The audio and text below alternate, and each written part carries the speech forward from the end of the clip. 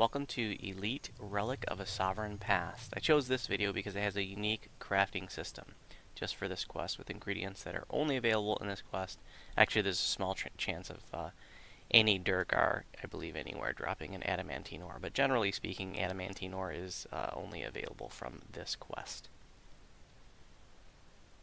I want to go over enhancements first because I forgot to do that last video. So I worked up to Tier 5 Crown of Summer awesome, awesome buff. Generally, you just use that on yourself, but you can put it on somebody else, uh, but you can only put it on one person at a time.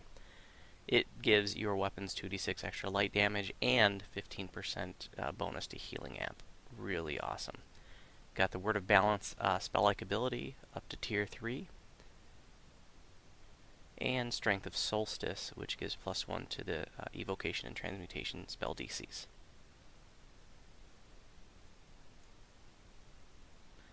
Everything on the Wolf is the same. Uh, my gear is also generally the same as last video. There are a couple changes.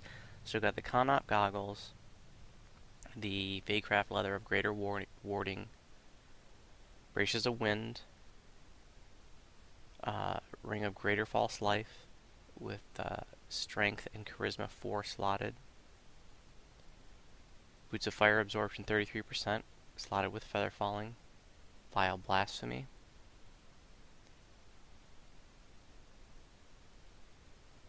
Evocation Focus 1 of Ice Lore 5, slotted with Vitality 20. And here we have a Health plus 6 spell with a large guild slot slotted up with spell points. Cloak of Flames, this is the highest heroic version of the Cloak of Flames. This is new for this level 14. Got the Elite Shamanic Fetish that gives Devotion 72 and Radiance 72. And I have the Master's Gift slotted in there. If you're not familiar with the Master's Gift, that is made, that's a colorless augment. It is made by combining your Voice of the Master, which comes from the Delera's chain, and your Mantle the World Shaper, which comes from the Threnal chain, and you put that into the Epic Altar with, I believe it's like three or five uh, Epic tokens. It might be greater Epic tokens, I don't remember. You can look it up on Wiki, and you combine those three ingredients, and it, it makes that augment that you can put into a colorless slot. Very cool. Gives you that XP bonus without having to switch to your voice at the end. Still got the torque on the neck, and then the green steel mineral 2 helmet. And the green steel lightning 2 scimitar.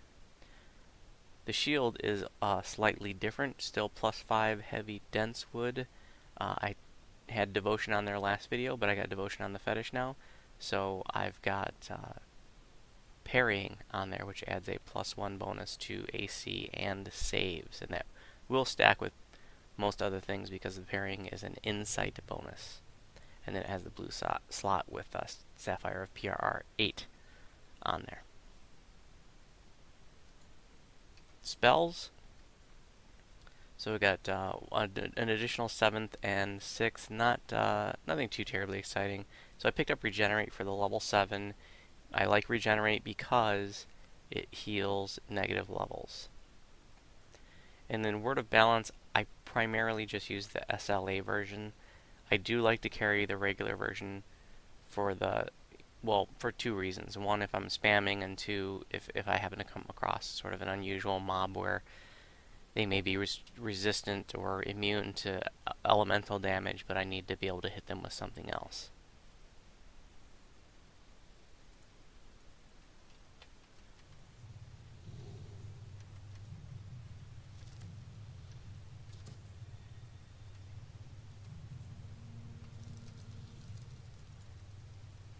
Quest is pretty good XP, 20,000 right out of the gate.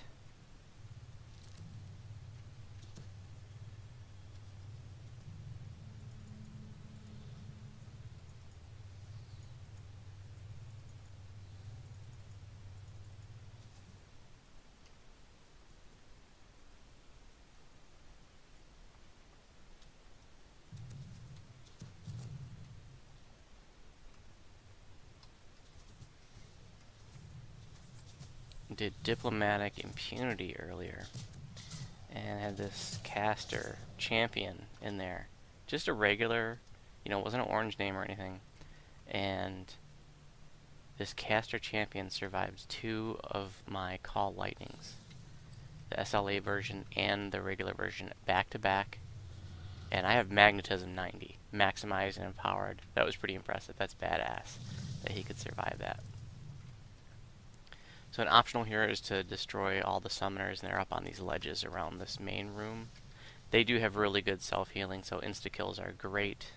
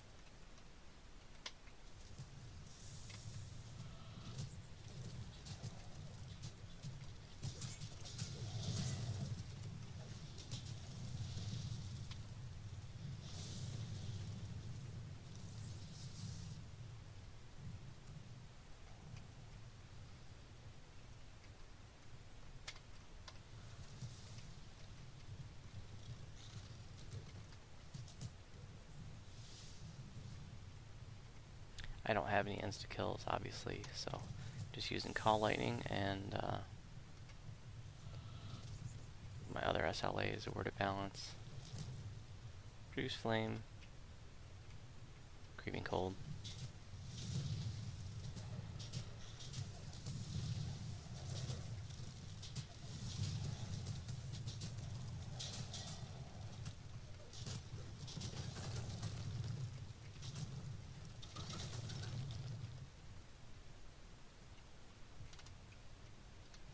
some terrible lag in here.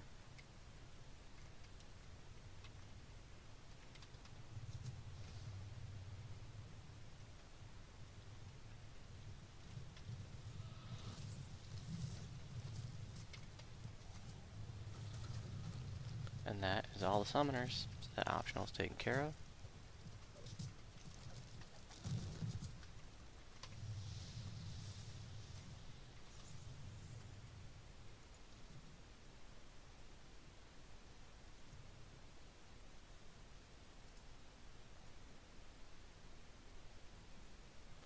Bunch of breakables up on those ledges. I don't want to take time in the video to get those.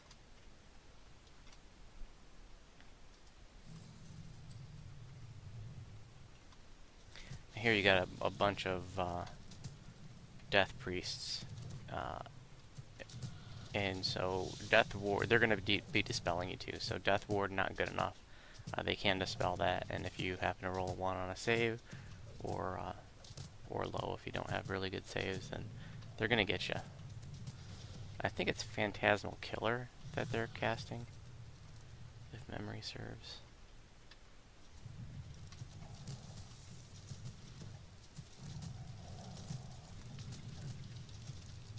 In any event, use a death block item in here. Don't rely on Death Ward.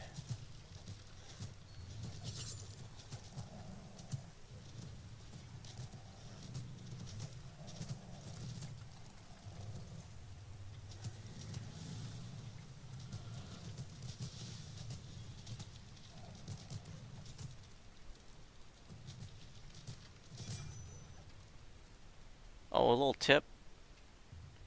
When you, you know, all the all the regular sort of standard potions that I have emphasized that everybody should carry with them. Um, I use the the ones from the guild vendor. Just uh, they're a little bit cheaper, so I got in the habit of getting those. But uh, the ones from the guild vendor cannot be used on somebody else. So, like if I have my wolf targeted here, I go to use like cure neutralize poison, it just does it on myself. But the ones you get from the regular vendor can be used on other people by targeting them. Um, and so, like my cure, my remove curse pots, uh, I got from the regular vendor, so I could use them on other people. So if you watch here, I have snarl targeted, I drink the cure uh, or the remove curse pot, and it hits him instead. And the reason why I got in the habit of doing that is because of the caught in the web raid. You know, you get in there and, you know, she spams the curses and, you know, people run out of curse pots or they forgot to bring them or something. And so you just help people out. But it's also worked really well for the druid too because, you know, you need to be able to hit your your wolf with something like that.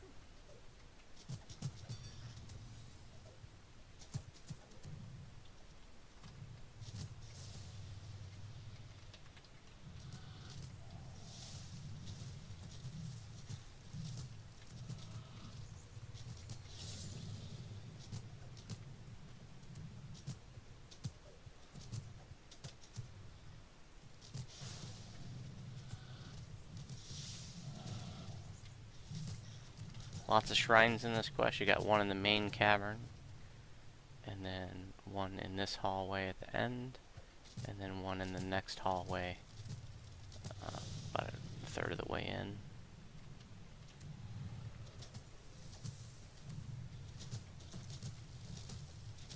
Right now, for my death block item, by the way, I'm just using the Silver Flame amulet, Silver Flame talisman.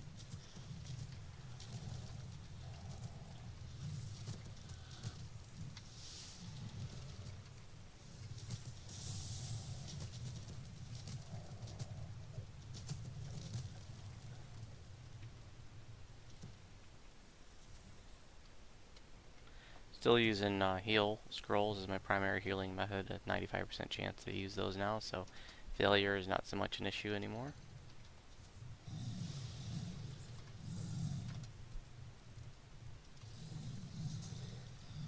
Also with the vile blasphemy and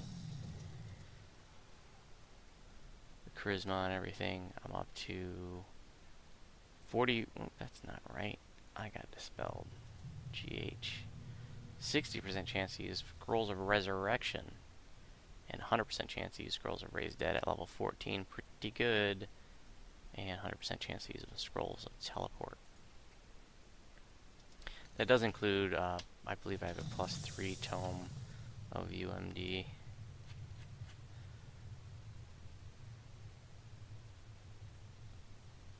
Yeah. Haven't talked about skills much during the videos, but I'm just following uh, what I posted on my build, and that is to max out Spellcraft, Heal, um,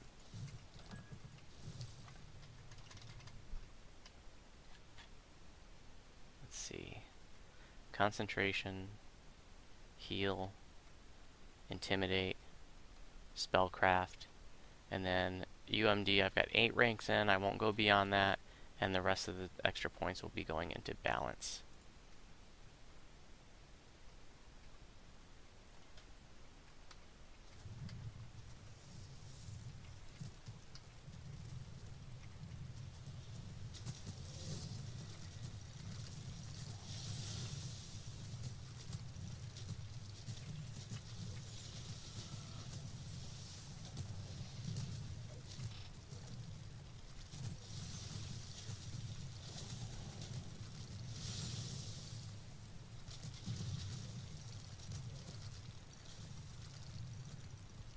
Now you gotta fight this clown here.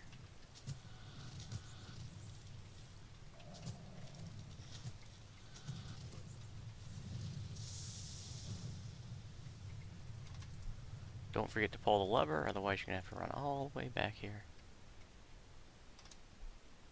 And that lever just opens up the next hallway.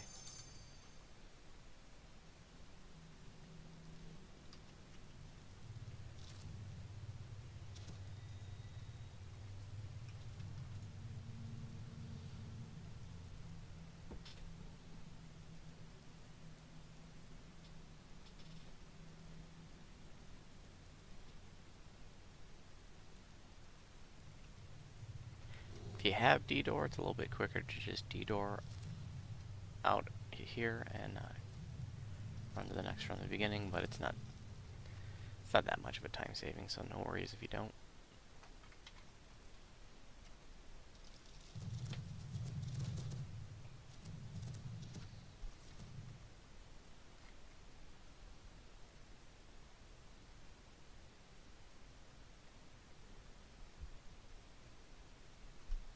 missed a guy.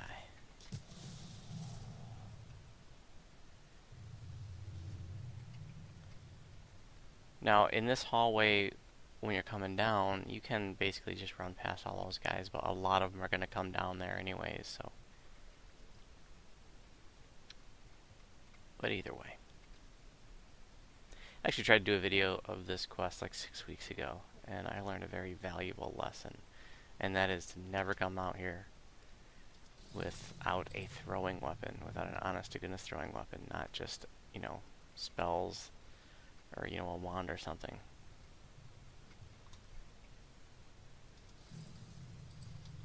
And that's because there are levers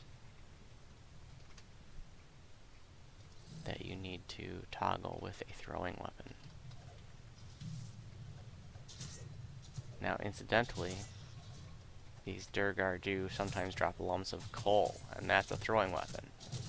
And so I actually found one during that run, and I was able to toggle the first lever. But then I needed another, you know, I needed something else for the next lever, and I went through the entire quest looking for a lump of coal on the ground, and I couldn't find one, so I had to scrap that video.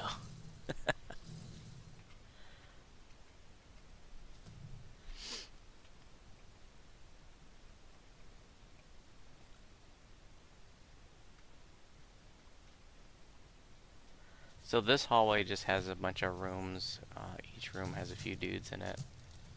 And so, just for the video, I'm gonna skip most of those. Now, we're looking for a key to open up the way to the optional hallway. That's gonna be in a chest. And there's also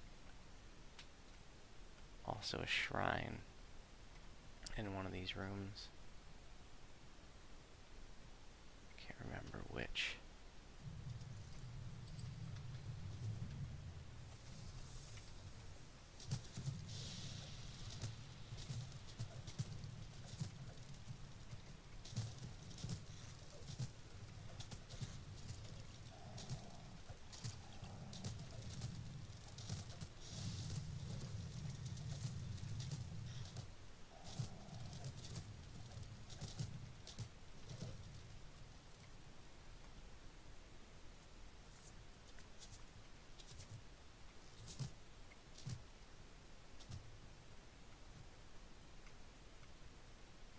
There's a shrine.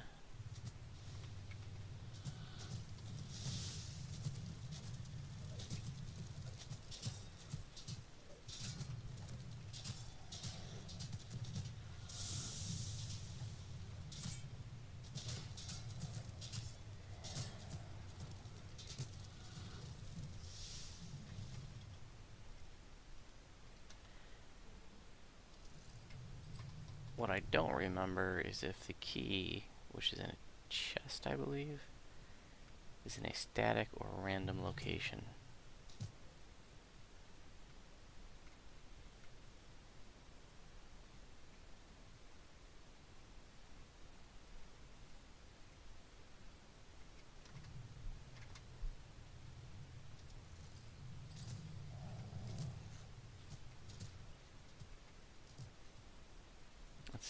Duergar we can piss off in the process.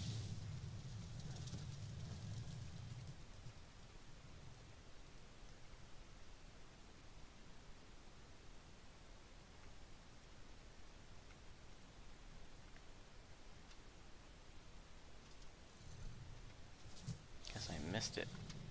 to get it on the way out.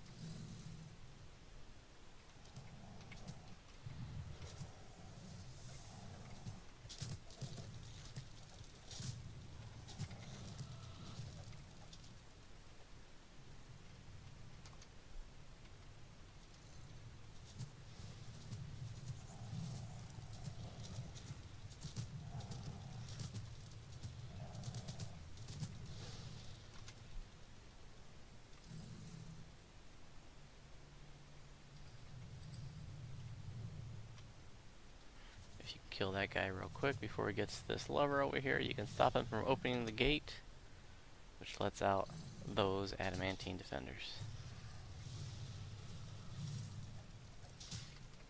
Don't forget to pull this lever. It opens up the, I, in the last hall I said it opens up the next hall, but it actually opens up the final hall. And you need to toggle both of those, and once you do these first two hallways, you can go right to the final hall. But there's that optional hall, which is where you get your adamantine ore. And that's what I'm going to do next. So if you're going for that, and if you want to get conquest, you should do that bonus hall first, so you get all the extra kills from there.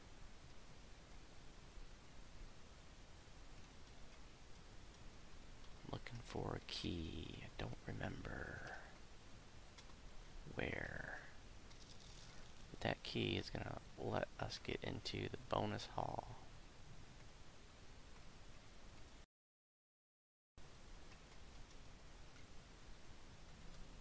Oh, the key was just on a chest, in a chest or on a table or something. Oh my god.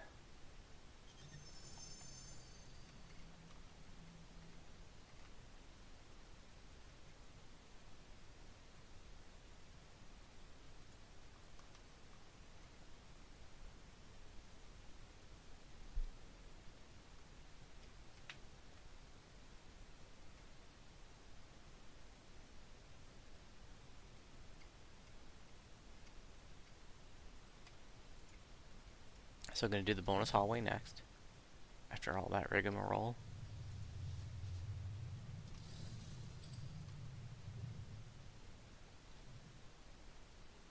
It's funny, you can see these uh, these magma balls that are jumping up and down when you go into the lava. You can see them from the from the bottom. Just looks kind of funny.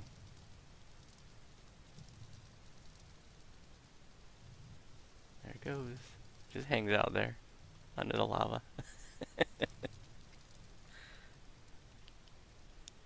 so there's the final hall to complete the quest. But like I said, if you want to go for maximum kill bonuses, then you should do the uh, extra hall next.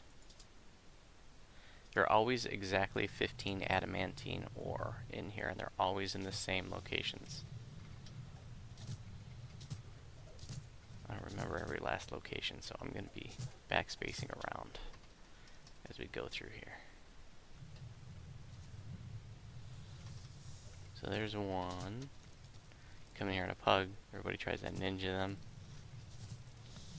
So if you're trying to get those, you might want to try to make an arrangement with the group ahead of time. A lot of people don't need that stuff anymore, but there are, you know, there are some neat items that you can make nothing spectacular, but definitely, you know, especially if you're newer to the game, um, there's some items that that can be pretty useful.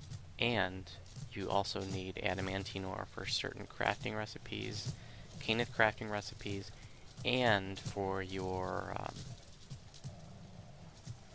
for your adamantine eldritch ritual, which adds additional hardness to an item. So certain items that are particularly weak and break often, like a Zakosian Air Dweller, for example, is great to add the Adamantine Ritual to.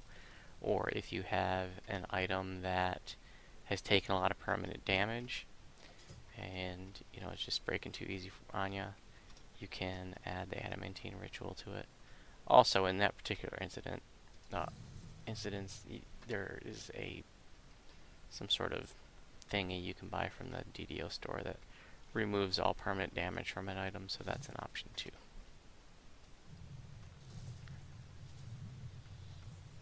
So here is where you need your throwing weapon. To open that up, you cannot just walk up and toggle that.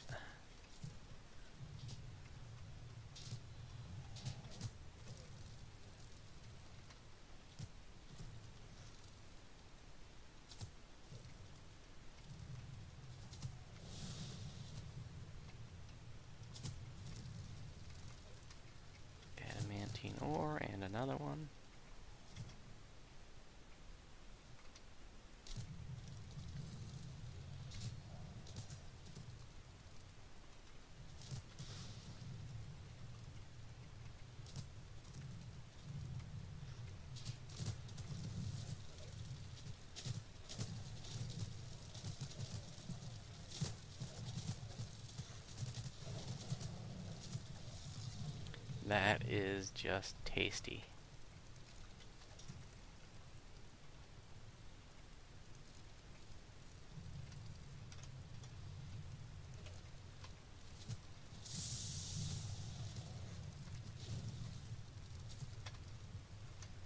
Tonight is our inaugural 2015 community teaching raid on Sarlona. It's uh, a, weekly event that my guild, the High Lords of Malkier, uh, hosted we started hosting them last year, beginning of the year. Uh, tons of fun. The idea is to you know, have these weekly teaching raids for new players to you know sort of welcome people into the raiding scene and teach people how raids work and get people to uh, be more comfortable with raiding. I haven't had anybody sign up for tonight. We're doing Shroud tonight. Sometimes people just join at the last minute, so we'll see. First one of the year, so. And I just posted it a couple days ago. But if you're on Sarlona and you're a newer player, um, these are great events. It's a really uh, friendly environment to learn raids and to you know, ask questions. You know, and it's great even if you run raids, you run a raid several times, but you didn't really understand what was going on, or you're still learning parts of a raid. Like this is, we go through like everything in the raid. So like you're gonna walk away from these events understanding what's going on. There's so many times, you know, you join pugs and they're just whizzing through it, and nobody's explaining anything, and you don't really understand all of what is happening.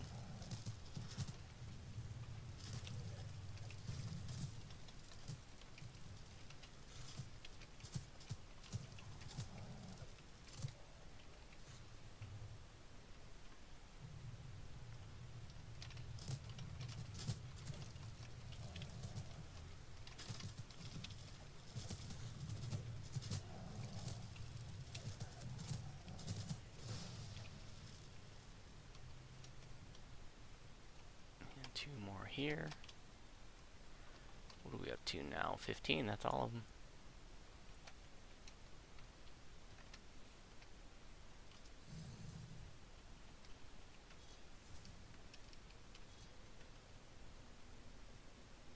So I'm going to hit this guy with Word of Balance just so you can see.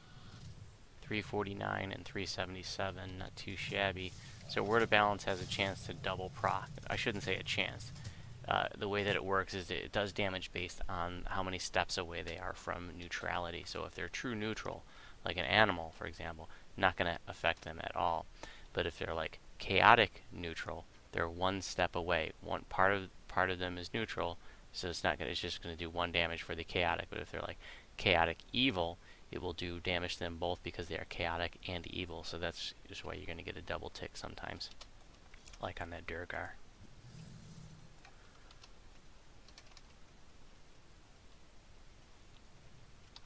You know, I thought that the adamantine ore was in static locations, but I already got 15 of them, and I know that occasionally, that sometimes there's a piece of adamantine ore here, so apparently that they're not in static locations. Apparently there's some randomness to it.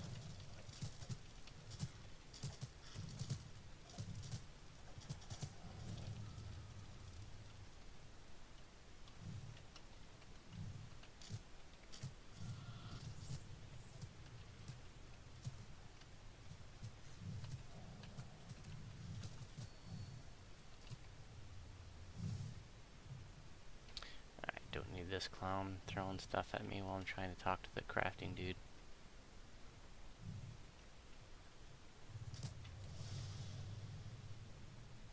So this is the guy you're going to talk to about the stuff that's uh, uniquely craftable here in this quest.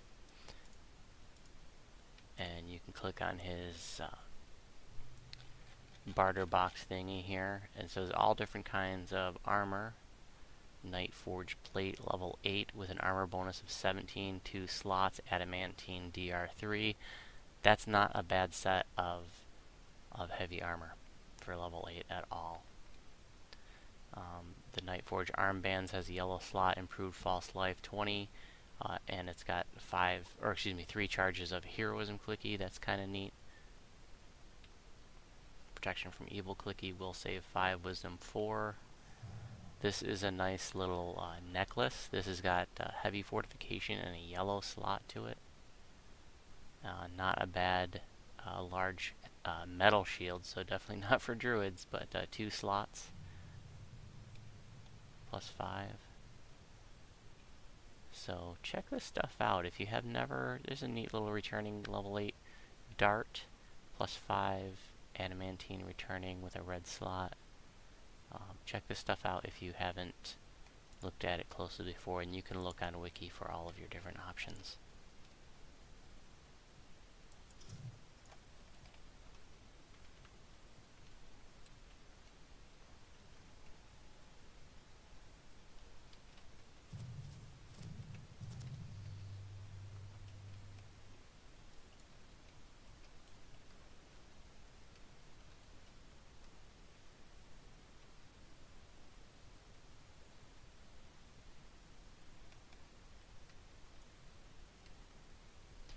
The most expensive item is 15 pieces of adamantine ore, and there's only one or two items that cost that much. And like I said earlier, there are 15 that come from each instance.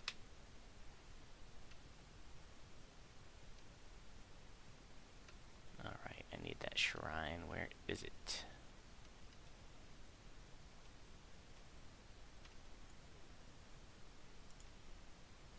Oh, there it is over there.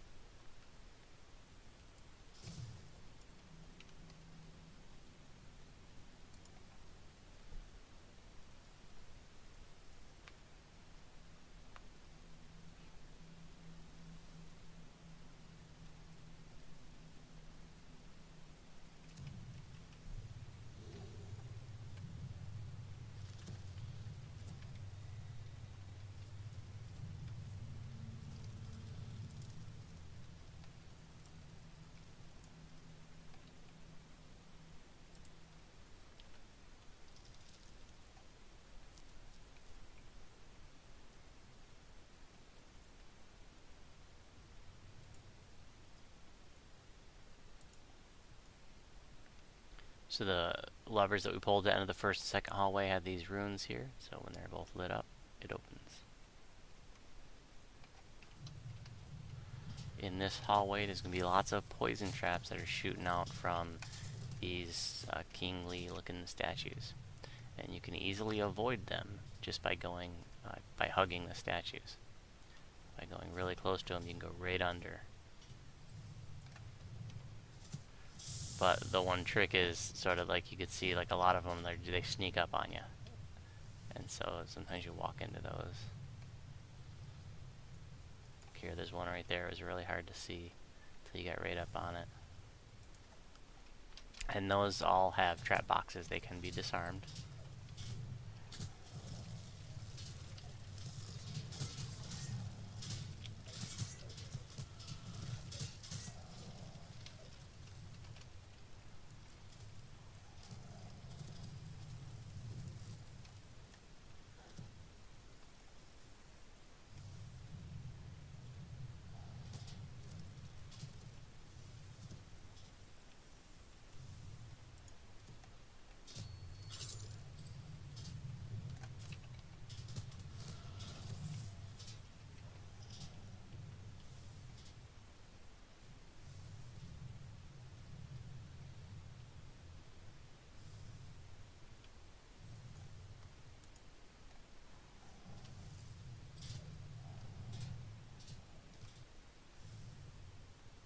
See a pattern, right, then left.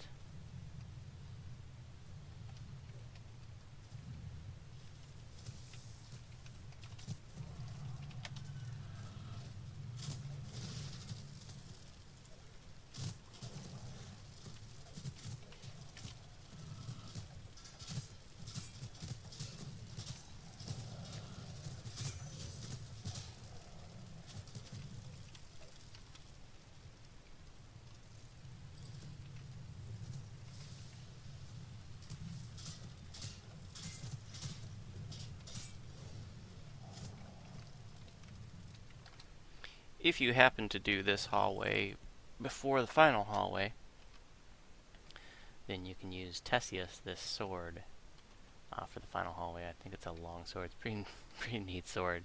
Too bad you can't take it out. Uh, there are three different uh, options that you can do here, and I don't remember which does which. So if you if you really care about that, you'll want to check wiki. But basically, um, one option he just says, you know, take the sword and get out of here. There's no fighting. And another option, um, some of the dudes come out of the side rooms and you fight them, and there's a chest over there. And then a, another option is you just fight him. So I don't remember which is which. Uh, I'm just gonna intimidate him.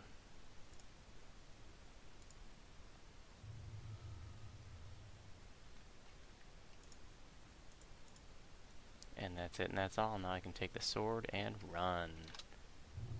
30 grand. Love it. Get a trapper in here and disarm those traps. Even higher.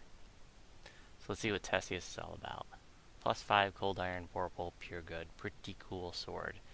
Uh, I guess it's not because it used to be back in the day that was something really special, but uh, still neat nonetheless. Thanks for watching. If you have any questions about my videos, you can respond on YouTube. If you have questions about my build, you can respond on the DDO forums. And if you're on Sarlona, you're welcome to send me a tell.